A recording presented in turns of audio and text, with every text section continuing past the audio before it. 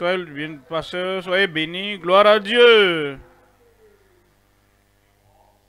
Vous devez être en éveil ce soir parce que quelque chose de grand, quelque chose que vous n'avez jamais vu avant vient sur votre vie. Mais laissez-moi vous rappeler, laissez-moi vous rappeler que Dieu a un plan pour toi. La raison pour laquelle il te touche, une touche du roi. La raison pour laquelle cette touche vient sur toi, c'est pour que ce plan qu'il a pour toi, avec cette touche-là, tu seras fort, guéri, en bonne santé, délivré, affranchi. Et cette touche maintenant te garde jusqu'au point où une nouvelle vie commence. Le commencement, un nouveau départ dans ta vie.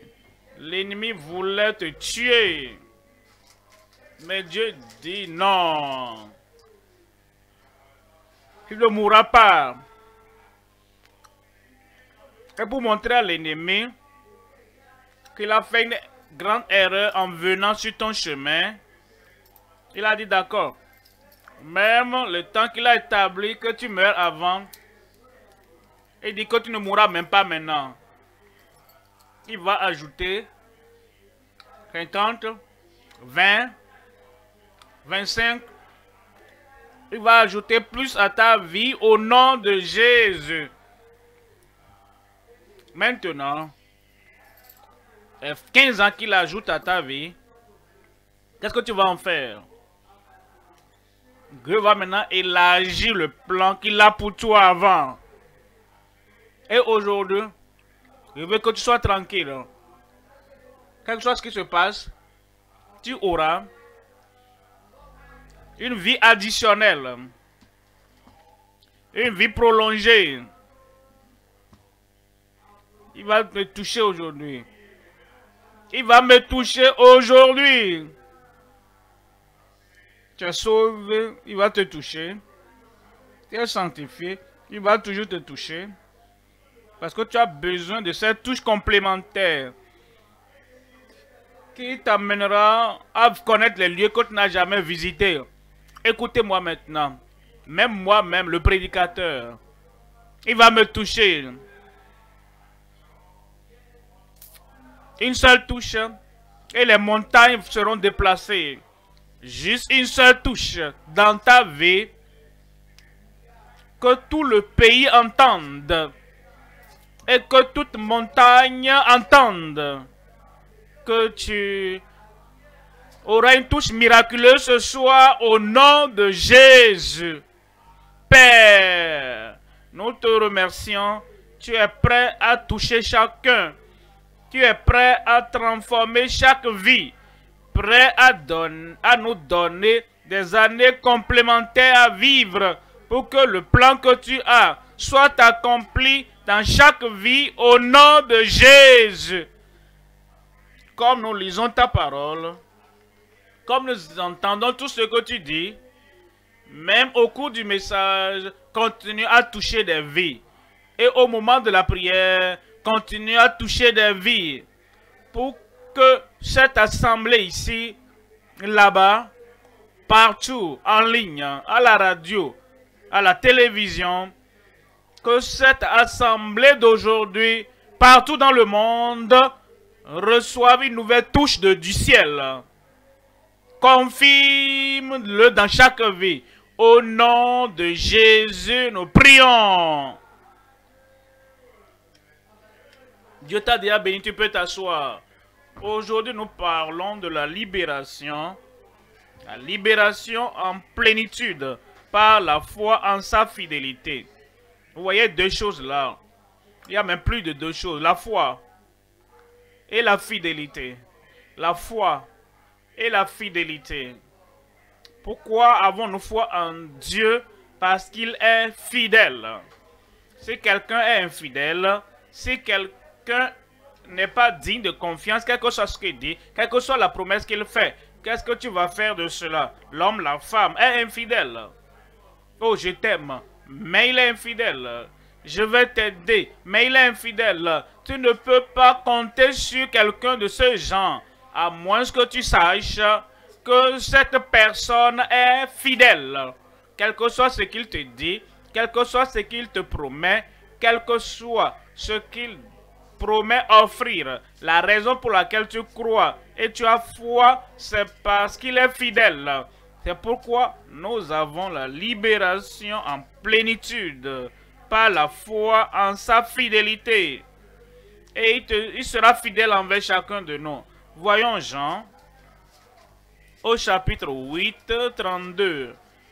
Vous connaîtrez la vérité et la vérité vous affranchira. Comprenez et dès, dès l'instant que vous connaissez la vérité, dès que vous écoutez la vérité, cette vérité, vous avez, la, vous avez foi en cette vérité, il n'y a plus d'autres blocages, il n'y a pas de mur de séparation entre la première ligne et la deuxième ligne. La première ligne, vous connaîtrez la vérité et la deuxième ligne, elle va suivre. Elle sera la conséquence de la première ligne et la vérité vous affranchira.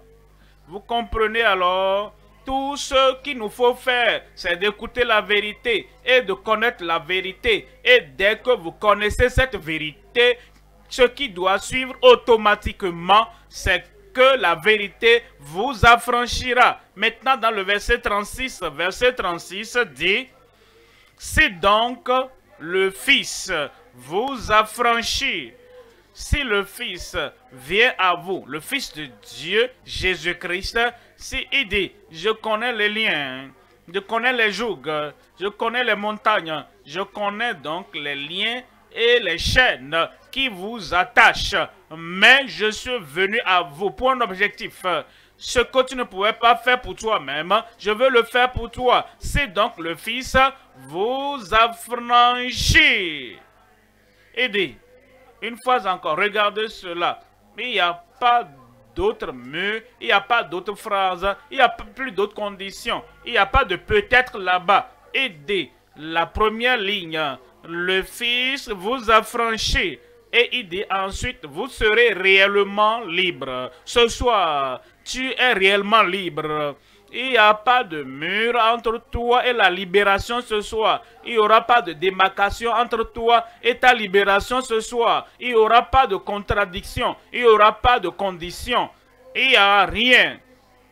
Tes péchés du passé et ta faiblesse du passé et ta dépravation du passé et la maladie et même la puissance de celui qui te maintenait captif. Cela ne compte pas. Cela ne pourra pas s'interposer parce que si le Fils vous affranchit, vous serez réellement libre. Et notre Christ, notre Sauveur, notre Rédempteur, il est un Christ fidèle. Il est un Sauveur fidèle. Voyons en Hébreu chapitre 10, verset 23. En Hébreu 10, verset 23 retenons fermement la confession, la déclaration de notre foi. Retenons fermement la profession de notre espérance, car celui qui a fait la promesse est fidèle. Vous comprenez? La foi que nous avons en lui est si solide, est si stable, parce qu'il est fidèle. Il ne peut pas se renier, peu importe ce qu'il a promis, quel que soit ce qu'il a déclaré, il est fidèle. Il ne vacille pas, il ne tremble pas, il ne change pas. Et c'est cette puissance qu'il a et qu'il a fait la promesse dans la fidélité. C'est pourquoi nous avons la foi. Retenons donc fermement la profession de notre foi, de notre espérance.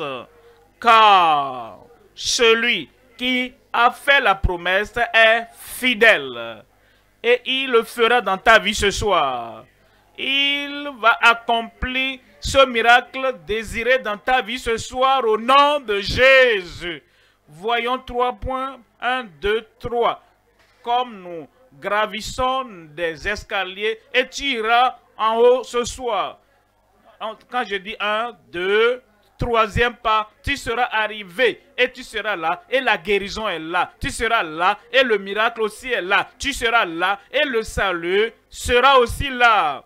Et Dieu a tellement fait les escaliers pour que chaque pas est assez petit pour que tu puisses faire le premier pas, le deuxième pas et le troisième pas et tu regardes autour de toi, oh l'environnement est nouveau, ma situation est nouvelle, ma vie est nouvelle.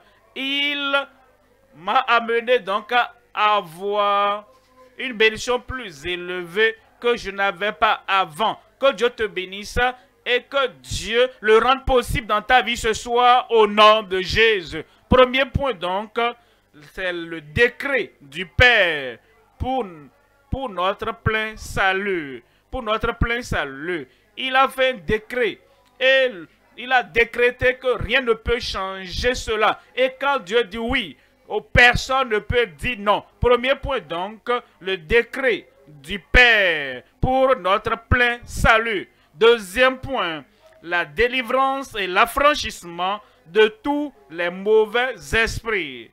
Mauvais esprits. Vous savez, quand nous jouons au ballon, sur un terrain et quelqu'un touche le ballon, oh, faute, faute. Et Satan jouait à ce mauvais jeu-là, mauvais esprit. Les mauvais esprits jouaient à ce mauvais jeu. Ces mauvais jeux, nous allons balayer ça de ta vie. Il ne suit pas les règles. Il n'écoute pas le maître. Il ne regarde pas tes désirs et il joue à ces mauvais jeux dans ta vie. Nous allons l'arrêter ce soir de ta vie. Troisièmement, donc, la déclaration de foi au Sauveur fidèle. Voyons le premier élément. C'est le décret du Père pour ton plein salut. Le décret du Père pour ton plein salut. Je déclare. Le Dieu Tout-Puissant qui parle. Le Dieu Tout-Puissant qui déclare. Le décret. Le, Seigneur m'a dit dans Somme 2, je suis ton fils. En ce jour, je t'ai engendré. Il parlait donc de son fils bien-aimé. Et le fils unique était, devait venir dans ce monde pour nous délivrer, pour nous sauver et laver nos péchés. Maintenant, dans le, les versets précédents, les rois de la terre étaient donc en train de se lever. Pourquoi va-t-il? Quand les anges se sont dit, ah, il n'a pas envoyé le sauveur. Quand Lucifer s'est dit, tu n'as pas envoyé un sauveur. Et tu as envoyé le jugement sur Satan, sur, sur ses anges déchus. Mais maintenant, les hommes ont péché et tu envoies un sauveur. C'est pourquoi il se le liguait. Dieu dit, si vous liguez ou vous êtes en furie, quelque chose que vous faites, je publierai le décret. Somme 2.7. L'Éternel m'a dit, tu es mon fils. Je t'ai engendré aujourd'hui. Verset 8. Verset 8. Demande-moi et je te donnerai les nations, vous connaissez, les Juifs, ils pensaient qu'ils étaient les seuls, que nous n'avons aucune chance, aucune part dans le salut. Mais Dieu le Père a dit à Dieu le Fils, demande-moi et je te donnerai les nations pour héritage. Les extrémités de la terre pour possession.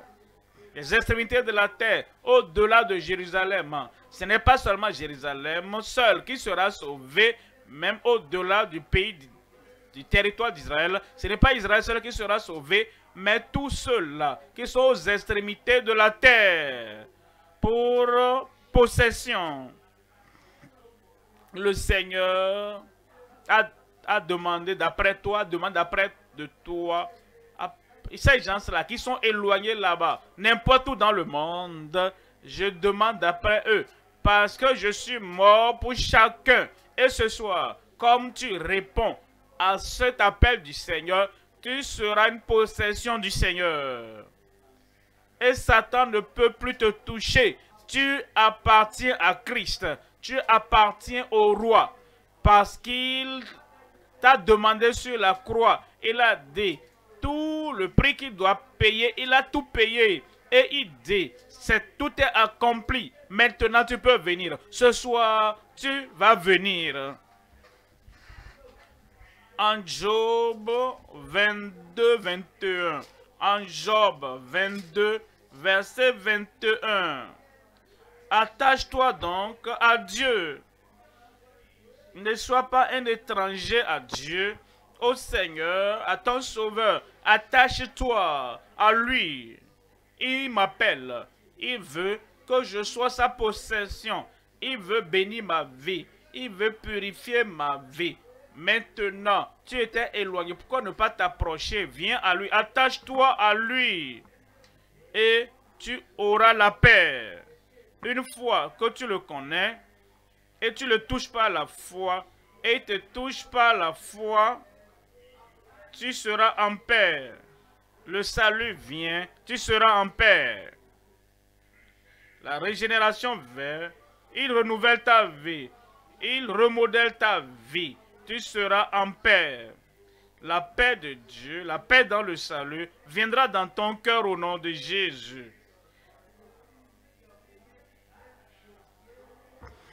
Tu jouiras ainsi du bonheur.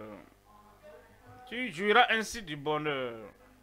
Les gens du monde, parce que Satan est le Dieu de ce monde. Et il est vigilant, il veille. Toute bonne chose sur terre, toute bonne chose pour l'éternité. Qui veut venir à ceux qui sont au dehors là-bas, Satan, Lucifer, bloque cela. Il est un homme malheureux, un homme triste.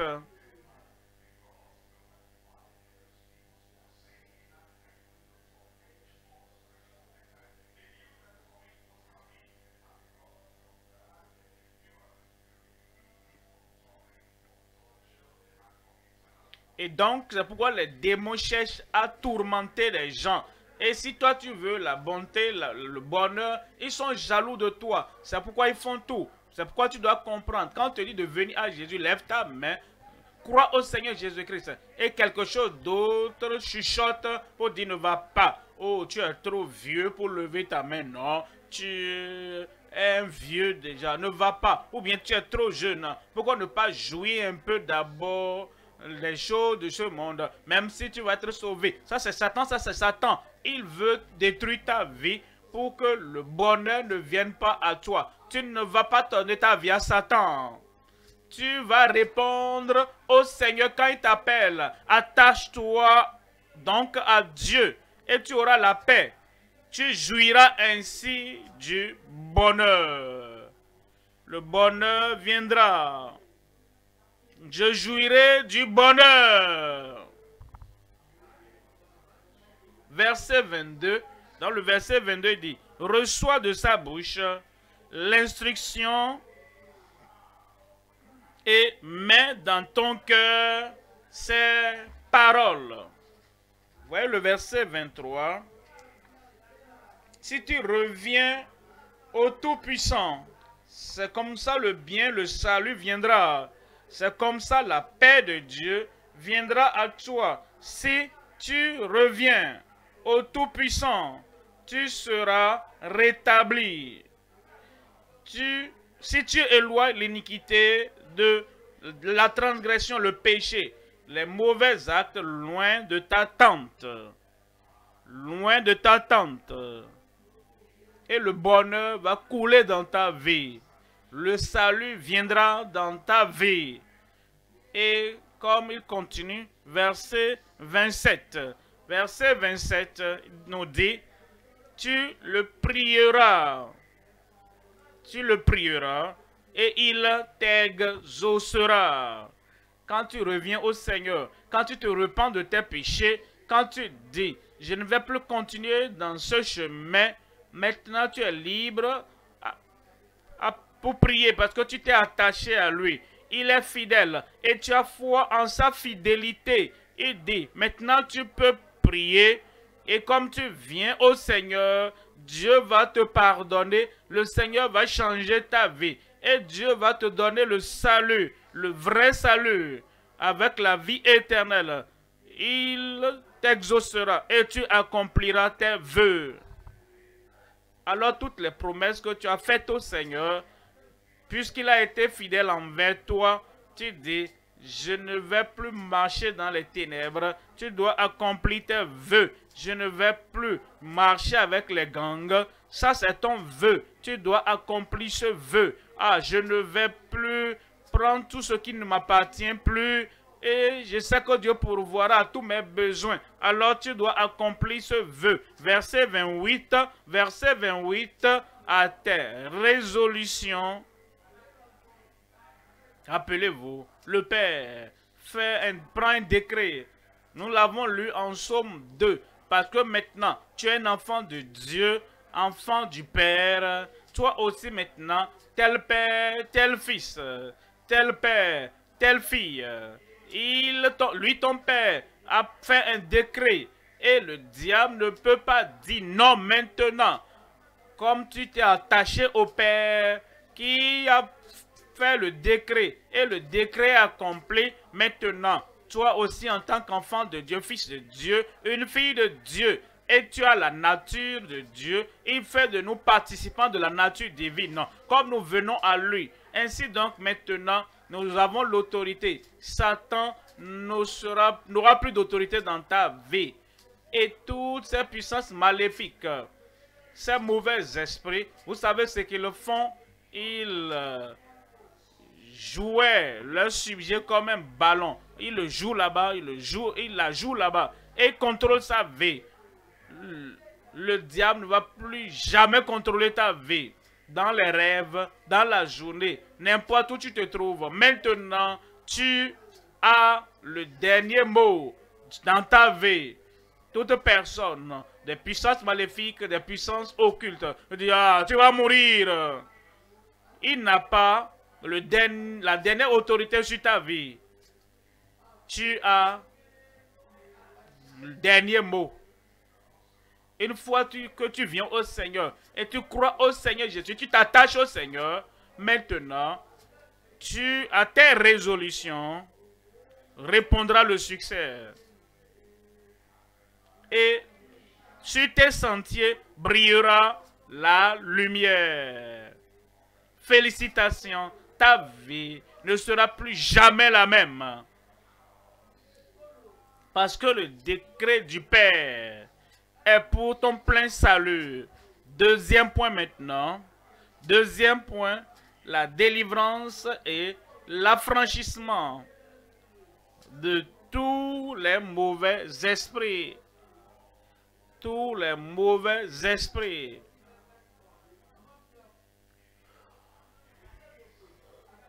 Si tu écoutes les gens qui ont été visités par les mauvais esprits, les mauvais esprits n'ont aucune pitié pour qui que ce soit, pour personne, pour aucun garçon, pour aucune fille. Et parfois, les mauvais esprits font savoir la personne. Parce que parfois,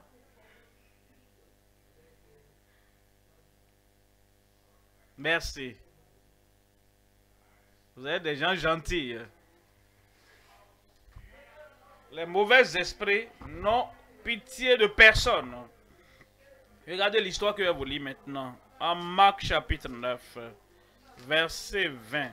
Marc 9, verset 20.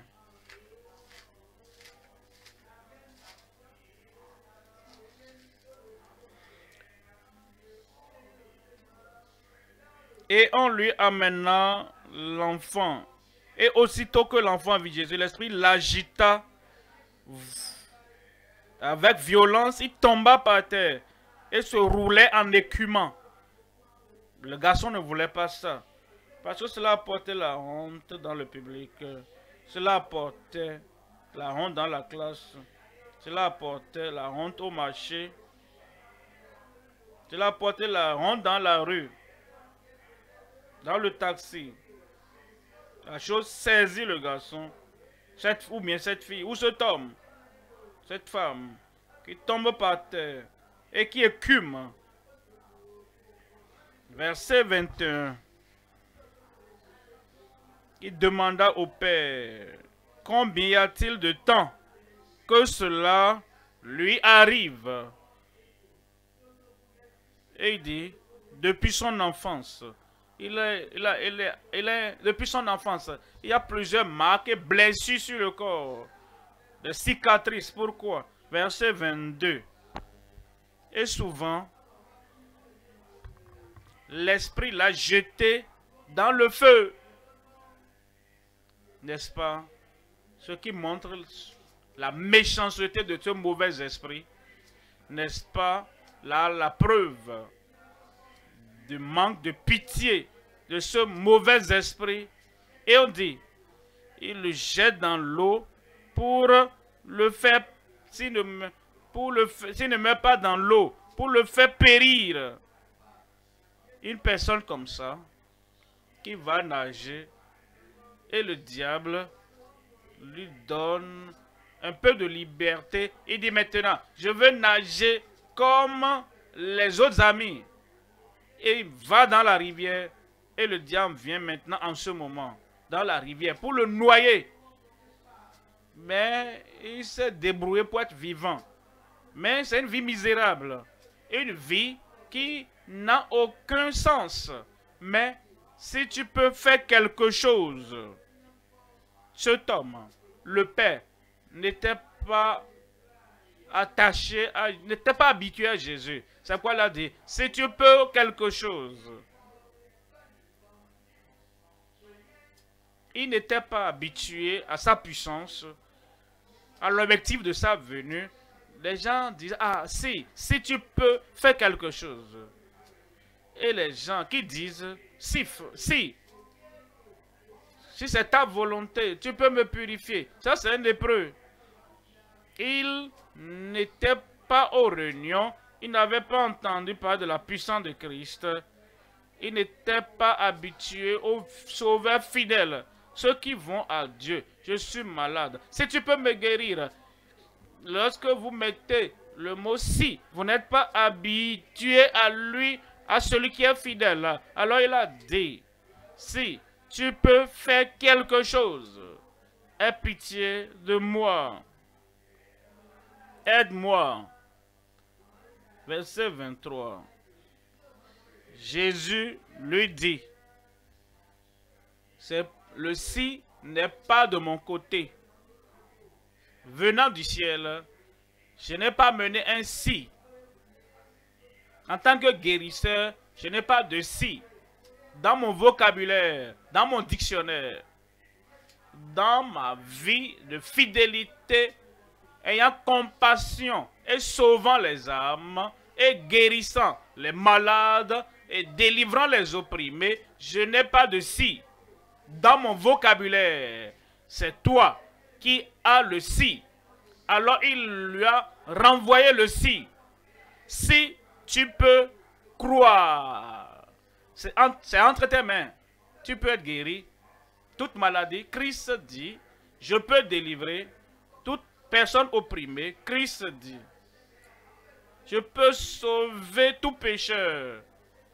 Je peux sauver le si n'est pas de mon côté. Ce que je sais, c'est que viens et je te donnerai du repos. Viens. Je vais sauver ton âme. Viens. Je vais te délivrer complètement. Viens. Je vais te donner le billet qui mène au ciel. Amen. Le si est de ton côté.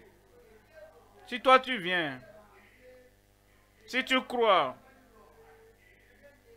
si tu peux me faire confiance, si tu as foi en ma fidélité, si tu peux croire, tout est possible à celui qui croit. C'est tout. Et pour toi ce soir, ce, pour ce pourquoi tu es venu, c'est possible. Ce, ce dont tu rêves avoir, c'est possible. La bénédiction de Dieu dans ta vie ce soir, c'est possible. il va te changer. Une seule touche change tout. Toute mauvaise chose, toute chose maléfique, toute chose sale, toute oppression, tout joug, une seule touche du roi des rois va tout changer ce soir au nom de Jésus. Verset 24. Aussitôt, le père de l'enfant s'écria et dit avec les larmes, Seigneur, je crois, viens au secours de mon incrédulité. Voyez cela, voyez cela. Seigneur, je crois, mais sous ce, cette mauvaise puissance tourmentait même le Père dans le cœur.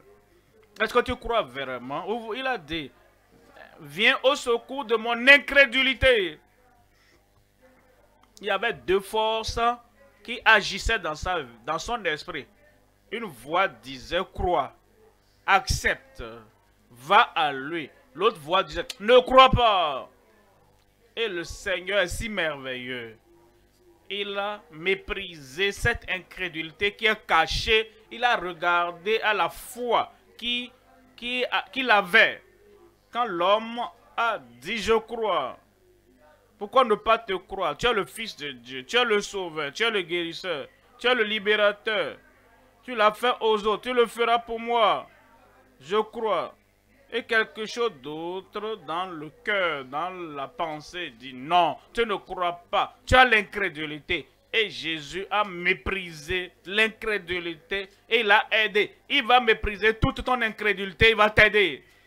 Et la foi que tu as, même si c'est une petite foi, même s'il semble que c'est une petite foi, ce soir tout de même, il va te sauver, il va te guérir, il va te délivrer. Verset 25. Jésus voyant accourir la foule, menaça l'esprit impur. Il menaça. Quel type, quel type d'esprit? L'esprit impur. C'était injuste pour que l'esprit soit là, impur. N'était pas approprié pour que ce mauvais esprit d'être là, impur, n'était pas approprié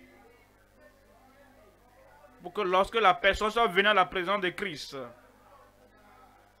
et pour que cet esprit, cet esprit rebelle, cet esprit qui défie le Seigneur, vienne avec les chercheurs sincères en la présence de Christ, mauvais esprit, lui disant, esprit muet et sourd.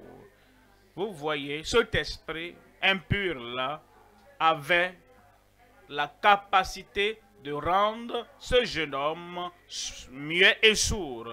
Mais Jésus a, tout rassemblé et l'a reprimandé cet esprit impur, sourd et muet. Je ai dit, je te l'ordonne, sors de cet enfant et n'y rentre plus. Il l'a ordonné. Il l'a chassé. Il n'avait plus de choix de sortir. Il ne va plus te lier. Il ne va plus te torturer. La décision et la délivrance est dans tes mains. C'est toi de venir, me voici. Je me donne sans réserve à Jésus. Et Jésus ne va pas te pousser dans les mains de cet esprit impur. Sors de lui et n'entre plus en lui. Ceux qui aident dans le monde, qui ont la délivrance qui peut te délivrer, qui peut répandre des choses sur toi, parfois le démon joue à des jeux de ce personne-là qui fait délivrance. Et même parfois s'amuse avec celui qui veut chasser les gens. Il sort un peu. Oh, gloire à Dieu. Tout va bien. Et quand tu as payé l'argent à ceux-là qui disent qu'ils veulent te délivrer, et tu retournes dans la maison, il va chercher sept plus méchants que lui-même. Et la vie est frustrée. Mais dans le cas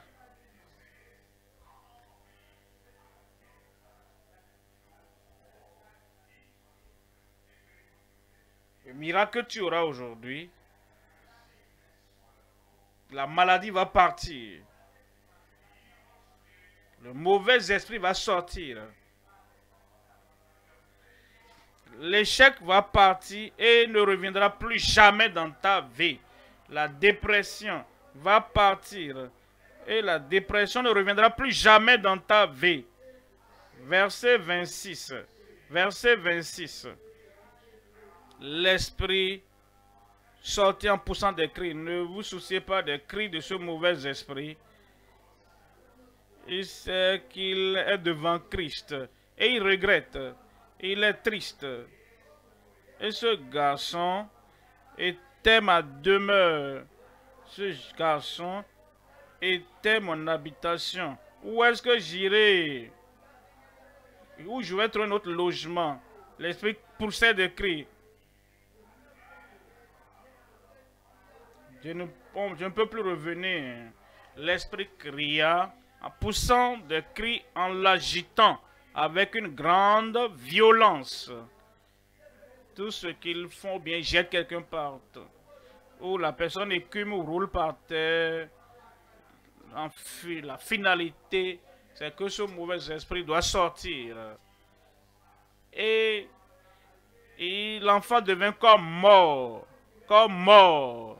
Comprenez, quand il est tombé par terre, et ce mauvais esprit qui l'activait, qui l'agitait et qui l'amenait à courir, à tomber dans l'eau, ne craignait rien, à tomber dans le feu sans rien craindre, ce mauvais esprit était déjà sorti. Mais il y avait le calme, il y avait le repos, la tranquillité. Le Père ne l'avait jamais vu aussi calme comme ça avant. Est-ce qu'il est mort? Non. Il ne peut pas mourir en la présence de Jésus c'est le mauvais esprit qui est sorti. De sorte que plusieurs disaient qu'il est mort. Verset 27. Mais Jésus, l'ayant pris par la main, Jésus, l'ayant pris par la main, si vous voulez avoir cette libération totale, si vous voulez avoir cette délivrance-là, vous devez vous laisser totalement entre les mains de Jésus. Je m'abandonne. Tout à Jésus, j'abandonne. Et il te met la main et il te tire. Maintenant, tu es dans un nouveau voyage et le plan de Dieu sera accompli dans ta vie. Il leva et il se leva. Il se leva avec toute sa pensée il se, leva avec la pensée de suivre Christ. Et à partir d'aujourd'hui, comme tu t'abandonnes à Christ et il te tient par la main, il t'amènera au lieu où le plan de Dieu va s'accomplir pour ta vie au nom de Jésus. Les mauvais esprits vont crier et sortiront de toute vie ce soir au nom de Jésus ceux qui sont la radio, la télévision. Comme nous mentionnons le nom de Jésus, le décret sort. Et la parole de Dieu sera accomplie dans ta vie. Tu auras la foi pour cet enfant, maman. Papa, tu as la, foi pour cet enfant. Oh, directeur, tu as la foi pour cet enfant. Quiconque est sous ton, soins, ta tutelle, qui est tourmenté par les mauvais esprits, ou toi-même, ce soir, c'est la soirée de délivrance de ta vie au nom de Jésus. Nous venons maintenant au troisième point. troisième point, la déclaration de foi au Sauveur fidèle.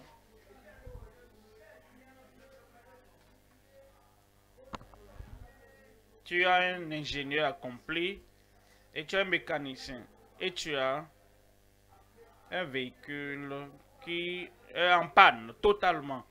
Mais tu connais, tu sais que cet ingénieur, ce mécanicien, il n'a jamais échoué dans sa profession. Et tu as pris le véhicule. Et tu l'as amené à ce mécanicien ou à cet ingénieur. Et quelqu'un te pose la question. Est-ce que tu penses que ceci va, ce véhicule va marcher normalement? Tu dis, je suis sûr. Comment est-ce que tu peux être sûr comme ça, mon frère? Ce n'est pas à cause de toi. Tu ne peux pas réparer cette chose. Tu ne peux pas remettre ça sur la route. Et ce n'est pas toi. C'est parce que tu connais le mécanicien, l'ingénieur, chez qui tu amènes le véhicule. Assez bon. Tu l'amènes chez lui. Tu, il, dit, je comprends, je comprends. J'ai une vraie histoire, vraie histoire. Il y a un homme qui conduisait un véhicule. Et en route, le véhicule a eu de panne. Il ne bougeait plus. Bougeait pas du tout. Un voisin venait. Et quelqu'un venait dans son véhicule. Et quand il a vu le véhicule, il s'est arrêté. Quand il est descendu. Et le propriétaire du véhicule qui a été en panne voulait expliquer que voici, voici, voici ce qu'ils avaient dit, n'en fais pas, je comprends. Et cet homme, venant en route, qui a rencontré cet homme, il a ouvert le, le capot, et il a touché, touché quelque chose là, et a dit à l'homme, démarre, et tout a marché. Et l'homme était surpris. J'étais ici. Vraie histoire, hein? J'étais ici, j'ai travaillé, j'ai touché ceci, j'ai touché cela, et tout cela. Et il dit, mais comment tu as fait? Comment est-ce que tu l'as fait? Je suis Ford. C'est celui qui a la société qui a fabriqué le, le modèle de véhicule. Il savait quoi toucher. Et tout a marché. Jésus est le fabricant. Jésus est le créateur. Sans lui, rien n'a été fait. Il a fait ton corps. Il connaît tous les os qui s'y trouvent. Il connaît tout ce qui ne va pas. Et, tu peux garer au bord de la voie et viens à toi. Il te touche là-bas. Il te touche là-bas. Il te touche là-bas. Et voici tu es parfaitement bien portant. Et tu demandes comment ça tu as pu faire. Il dit, c'est moi le créateur. C'est moi le libérateur. Je suis le sauveur. Et comme tu viens à lui avec cette foi, sachant que c'est le fidèle, il va toucher tout ce qui doit être touché. Il va transformer tout ce qui doit être transformé et tout ira bien ce soir au nom de Jésus. Et le Seigneur le fera. Une seule prière, un seul appel et tout est fait. La déclaration de foi au Sauveur fidèle. En Jérémie chapitre 17, verset 14. Jérémie 17, 14. Guéris-moi et je serai guéri. Vous voyez cela? Ce n'est pas quelque chose qu'il faut aller passer par là, direct. Guéris-moi. Il n'y a pas de barricade. Il n'y a pas de démarcation. Une fois que tu dis guéris-moi Seigneur, il dit je serai guéri je serai guéri instantanément. Et la deuxième partie, sauve-moi, Seigneur, et je serai sauvé. Voyez cela, guéris-moi, et je serai guéri. Sauve-moi, et je serai sauvé. Et ce salut viendra sur ta vie au nom de Jésus. Et cette guérison, ce miracle, cette délivrance viendra sur toi au nom de Jésus. Car tu es ma louange, tu loues Dieu. Et tu sors et tu donnes ton témoignage.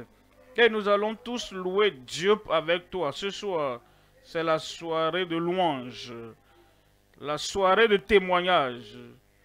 Tu vas déclarer ta foi en la fidélité du Sauveur et tu viendras pour dire sauve-moi et il va te sauver. Guéris-moi, il va te guérir. Amen. Est-ce que nous sommes prêts maintenant? J'ai dit, est-ce que nous sommes prêts maintenant? Rappelez-vous, il ne peut pas refuser la promesse qu'il a faite. Il va honorer ta foi et il va sauver ton âme, pardonner tes péchés et franchi complètement, la tête baissée, les yeux fermés. Notre Dieu aimable, notre Christ sauveur, est prêt pour toi maintenant. Et quiconque invoquera le nom du Seigneur sera sauvé. Tu veux ce salut maintenant. Tu veux le pardon. Tu veux la libération. Tout ce qui a bloqué la voie du salut pour toi, tu veux que Dieu ôte cela. Il est fidèle. Tu as la foi en sa fidélité. Lève cette main alors. Amen. Que Dieu te bénisse là-bas. Lève la main là-bas. Lève ça bien. N'importe où tu es. Et tu ne veux pas être le blocage pour toi-même. Il veut te sauver. Il veut te délivrer. Il veut te pardonner. Et ce pardon te donnera une place au ciel. Ce salut te donnera une place au ciel. Lève cette main et dis Seigneur, je suis là. Si tu lèves ta main, que Dieu te bénisse. Fais un autre pas. Et mets-toi debout. Fais un autre pas et mets-toi debout. Parce qu'il veut te donner ce salut instantané maintenant même. Que Dieu te bénisse. Fais-le en ligne. Tu écoutes à la radio. Fais-le. Tu suis à la télévision. Fais-le également. Il est le salut. Et son salut est venu pour toi. Sauve-moi, Seigneur. Et je serai sauvé car tu es ma louange, toujours debout. Prions ensemble. Comprends. Parce qu'il est fidèle. Tu peux avoir foi en lui, Père. Au nom puissant de Jésus, nous venons à toi maintenant. Tout ton peuple, ils sont levés, ils sont debout les mains levées. Parce qu'ils ont foi en ta fidélité. Tu as promis pardonner. Et ils savent que tu vas pardonner. Tu as promis sauver. Et ils savent que tu vas les sauver. Seigneur, manifeste ta fidélité. Sauve-les maintenant au nom de Jésus. Efface le souvenir de leurs péchés. Et mets ces péchés derrière toi pour ne plus jamais en parler contre eux au nom de Jésus. Seigneur donne le pardon maintenant dans ton cœur, par ta foi. Accepte ce pardon. Crois que c'est faire. Il a pardonné tes péchés. Il a sauvé tes péchés.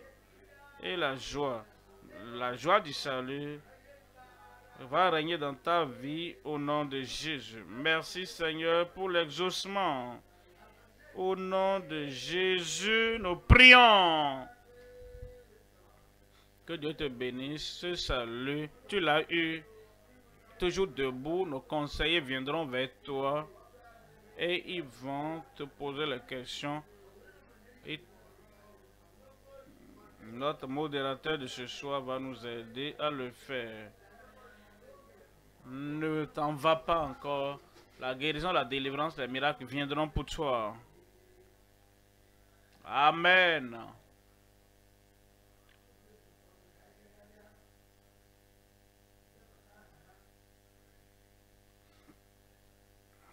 Donc les conseillers partout nous sommes, dans n'importe quel euh, rassemblement, quelle que soit notre localité,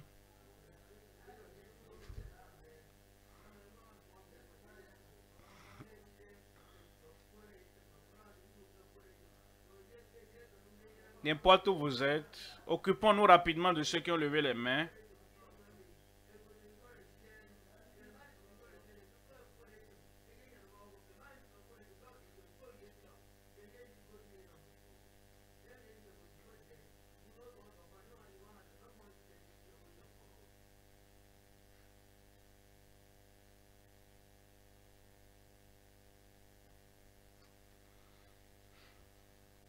Allons-y rapidement, occupons-nous de ceux-là qui ont donné leur vie à Christ.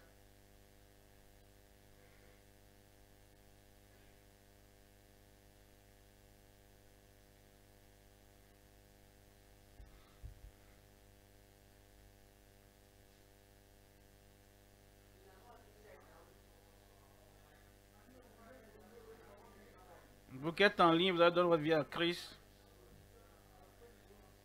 Cours du message du pasteur, vous cliquez dessus. Nous pouvons vous, pour que nous puissions vous aider en Christ. Si vous écoutez la radio ou bien la télévision, et vous avez donné votre vie à Christ, envoyez vos noms, prénoms, que je vais vous lire, ou bien qu'on vous communique à la radio. Le numéro c'est plus 234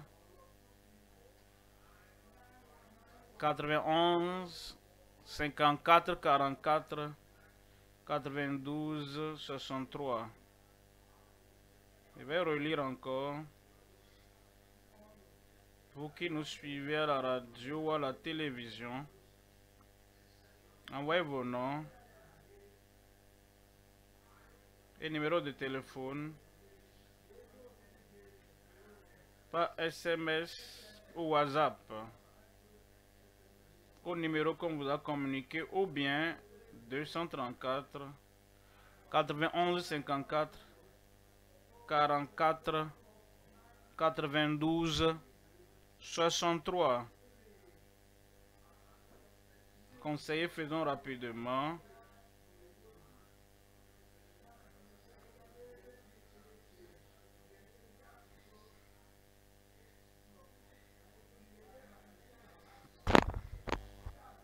Donc, euh, prenons les noms, s'il vous plaît. Les armes doivent être conservées dans le royaume. S'ils remplissent ça eux-mêmes, aidez-les et veillez à ce que les noms sont corrects. Faisons-le. Par la grâce de Dieu, il y aura un banquet spécial en ligne pour ceux qui suivent en ligne, qui ont donné leur vie à Christ le dimanche 2 juillet 2023. Plus de détails vous seront donnés plus tard. Et notre pasteur sera dans la joie de vous compter parmi les participants de ce banquet. Aura le banquet des croyants pour ceux qui sont à Port-à-Côte à 15 heures pour ceux de Port-à-Côte. Pour les autres, on vous indiquera le lieu.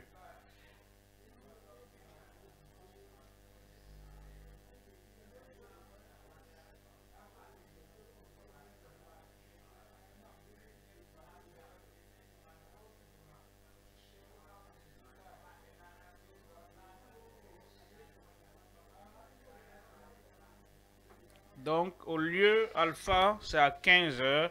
Mais ailleurs, on vous communiquera, l'heure, le lieu qui sera donc retenu dans votre pays, dans votre région. Nos conseillers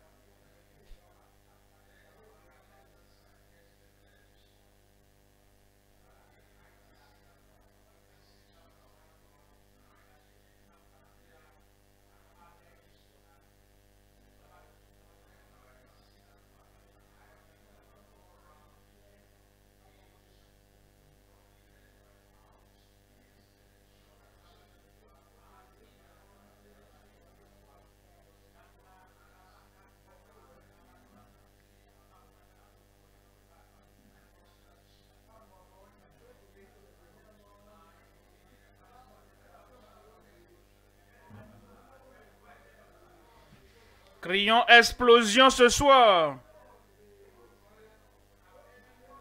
Une fois, je sais que quand le pasteur prie Dieu exauce. Regardez votre oui. Ce soir, c'est votre soirée. Ce soir, c'est votre soirée. Rappelez-vous, sauve-moi et je serai sauvé. Guéris-moi, Dieu, et je serai guéri. Ta guérison est garantie par la fidélité de Dieu. Il est fidèle, tu n'as rien à douter. Tu vas manifester la foi et il le fera dans ta vie. Quelle que soit la maladie, quel que soit le mal, mets la main là où tu as le défi et lève l'autre main. Et le Seigneur, il va ôter le problème et te donnera la guérison complète, délivrance, rédemption au nom de Jésus. Père, nous te remercions. Nous t'appelons Père. Christ appelle Père. Et ses suiveurs, ses disciples, les enfants de Dieu, nous t'appelons Père. Nous savons que tu es fidèle, qui débute jusqu'à la fin, jusqu'à l'éternité. Ta fidélité atteint jusqu'aux cieux. Tu ne peux pas renier les promesses que tu as faites.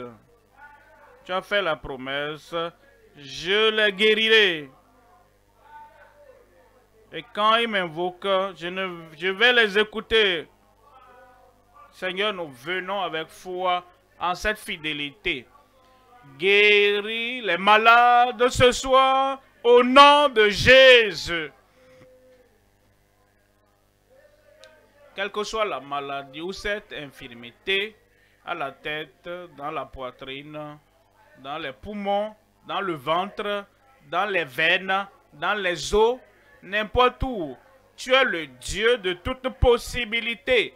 Touche-les, guéris-les au nom de Jésus. Seigneur, ouvre les yeux aveugles et arrête les oreilles sourdes. Seigneur, délie les cordes des muets au nom de Jésus. Tout enflement, l'éléphantiasis au pied, l'hernie, à cette partie du corps, l'enflement d'une maladie terrible au niveau de ce corps, fibrome, n'importe où. Guéris-les au nom de Jésus. Liberté. Liberté de toutes ces choses douloureuses au nom de Jésus. Là où vous avez la main imposée, la main du Seigneur vient sur cette main. Guérison, délivrance, soit accomplie et parfait dans ton corps au nom de Jésus. Ce problème de cerveau, cette insanité, ce mauvais esprit impur là-bas, sort au nom de Jésus. Seigneur, confirme le miracle, confirme la guérison, confirme la délivrance. À gauche, au milieu, à droite, en ligne, à la radio, à la télévision, confirme le miracle de guérison maintenant au nom de Jésus. Tu es libre. Mon frère, ma soeur là-bas, tu es libre. Tu es guéri. Tu es délivré. Ta libération est totale, est venue pour toi maintenant. Reçois au nom de Jésus. Merci Seigneur. Nous savons que c'est fait. mon frère, ma soeur, mon garçon, ma fille là-bas, c'est fait. Confirmation dans ta vie, manifestation dans ta vie et la démonstration de la fidélité de puissance dans ta vie maintenant. Au nom de Jésus, j'ai prié. Gloire à Dieu. Tu l'as eu. J'ai dit, tu l'as eu.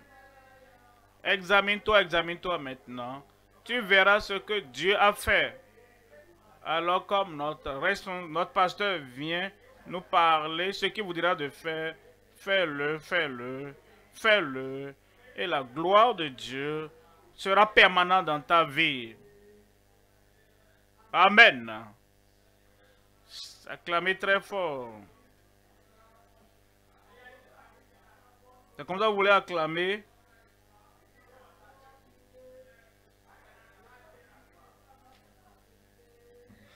Amen.